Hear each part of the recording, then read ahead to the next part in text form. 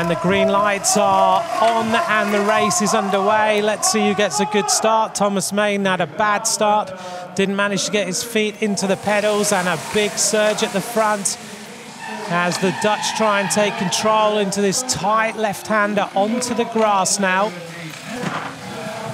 And onto the first of the bridges at the rider's face. Oh, that was very, very close.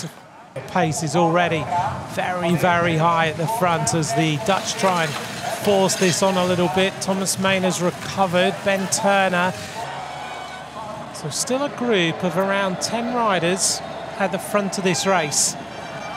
Ooh, that was a little bit of a slide at the front. Pim Ronhaar. But this is a big attack.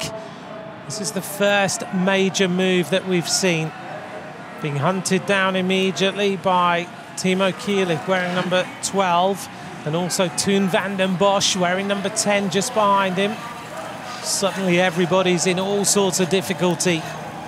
Right, a real chase going on now, but it's Pim Ronhaar who leads. He's got a little bit of an advantage, around four seconds on the rest of the riders.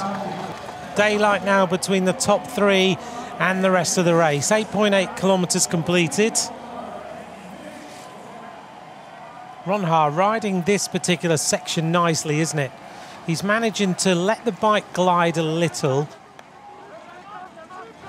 Emiel Verstrynge of Belgium on the front of the chasing trio. Oh, Ryan Kamp also. This is so slidey, this step uh, area.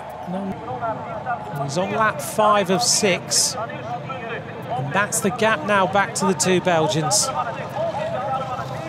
coming across to them now. Ryan Kamp just trying to close the gap. Here's our chasing trio. So Ryan Kamp has got himself back into that group and now is looking to try and put himself in a position where the Dutch could very well take first and second place in this race. Here's our Belgian sandwich with a Dutch filling. Ryan Kamp makes a surge now is Kamp going to go across and catch his teammate? Got to be a little bit careful here.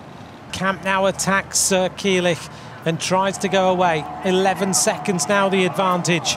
Ryan Kamp, the defending champion, is starting to ride across towards his teammate. Oh, and Kielich uh, crashes. It has been a wonderful display of how to ride in the sand. He gets ready. He starts to fly across the line. It's a wonderful victory. Pim Ronhaar wins here for the Netherlands, and it's a 1-2 for the Dutch.